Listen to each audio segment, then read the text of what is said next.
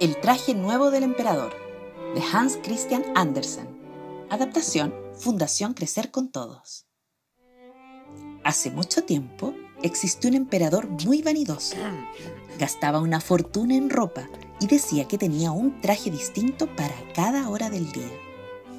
Un verano llegaron al reino dos impostores que se hacían pasar por tejedores. Decían que hilaban la tela más hermosa del mundo esta tela poseía una característica única. Las personas que no hacían bien su trabajo o que eran tontas no podían verla, ya que se volvía invisible para ellas. Necesito sin falta un traje con esa tela. Así podré distinguir a los inteligentes de mi reino y despedir a los que no hacen bien su trabajo, pensó el emperador. Entonces el emperador mandó hacer un traje a los impostores pagándoles por adelantado una buena suma de dinero. Los supuestos tejedores armaron un telar y simularon que trabajaban. Después de unos días, el emperador quiso saber cómo iba su traje. Sin embargo, tenía temor de no verlo y que todos lo consideraran tonto e inepto para reinar. Entonces envió un ministro. Cuando el ministro llegó a ver la tela, se dio cuenta de que no había nada y que los tejedores eran unos farsantes, pero le dio tanto miedo que lo sacaran de su cargo que dijo, ¡Qué tela más maravillosa! ¡Qué colores y bordados más bonitos!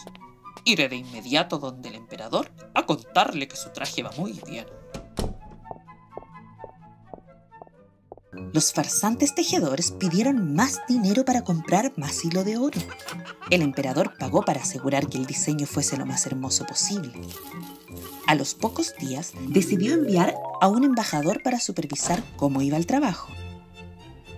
El hombre no logró ver nada y estaba seguro de que se trataba de una estafa, pero le dio tanto miedo que lo sacaran de su cargo que dijo, ¡Qué tela más magnífica!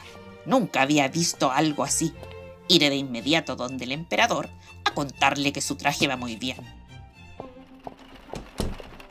Después de recibir tan buenas noticias de sus enviados, el emperador decidió ir personalmente a ver la tela.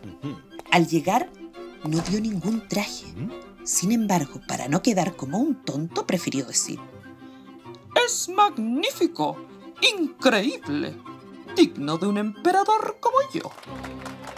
Todos aplaudieron y convencieron al emperador de hacer un gran desfile para que luciera su traje ante el pueblo.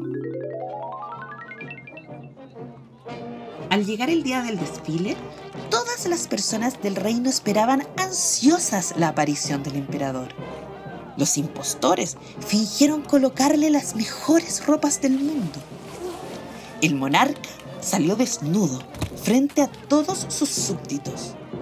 Al verlo, todos notaron que estaba sin ropa, pero no se atrevían a decir nada. El único honesto fue un pequeño niño que apenas lo vio, gritó. Así como todos se atrevieron a comentar la verdad. ¡No lleva ropa! gritaba el pueblo. ¡Va desnudo! El emperador se sintió muy avergonzado. Sabía que el pueblo estaba en lo cierto.